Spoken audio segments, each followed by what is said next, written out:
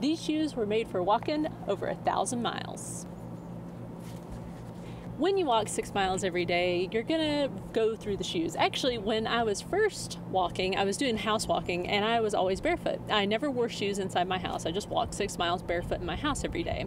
But when I became a full time RVer, I started walking outside, and that was even okay in the beginning. I started barefoot hiking, which I really enjoyed. But the weather got hot, and when the weather is hot in Florida, it makes it almost impossible to go barefoot. So I ended up needing to buy some shoes. So on Mother's Day, I bought these for myself. They are New Balance Arishi version 1s. And as it turns out, I love these things. I love them almost as much as I love going barefoot. The main thing I was looking for in a pair of walking shoes was a grippy bottom because I knew I was going to be on different terrain and I really don't like the slick bottoms in a lot of walking shoes nowadays. This like plain white but these have a nice grippy bottom. They're also very lightweight, so you know, even though I'm walking six miles, it really doesn't feel like a whole lot of extra weight that I'm carrying around. You'll notice there's a good bit of ventilation in them, and I've found that they do feel pretty cool even on a hot day. They also have fresh foam, which I couldn't find a lot of information about, but it really does seem to have made the shoes not stink because even though I was in hot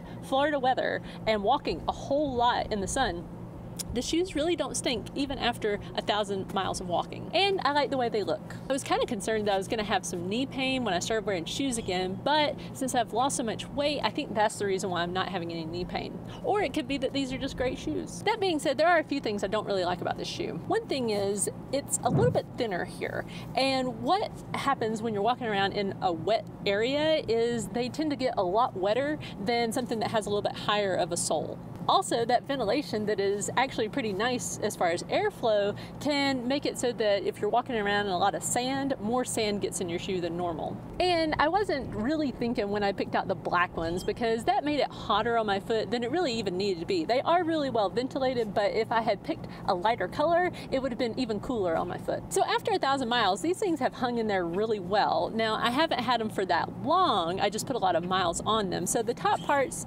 still looking great. It's just the bottom bottom is pretty worn. You know, you can see my strike pattern uh, has made it so that it's at one po uh, point like on the heel it's actually down to the white part. So I do need to change these out. You know there's a lot of things out there that say you should probably change your uh, shoes every like 300 to 500 miles and I've gone way over that. So it's time for a new pair but I love these and I may even just go get me another pair just like them so if you're looking for a good pair of walking shoes try out New Balance. I think these were about $60 when I bought them uh, and you can get them for about that on Amazon Amazon. I'll put a link in the description so that you can find these exact ones on Amazon. So I'm curious to know what kind of walking shoes do you love to use? Let me know in the comments below. Okay, thanks for watching. Be sure to like, comment, and subscribe down below.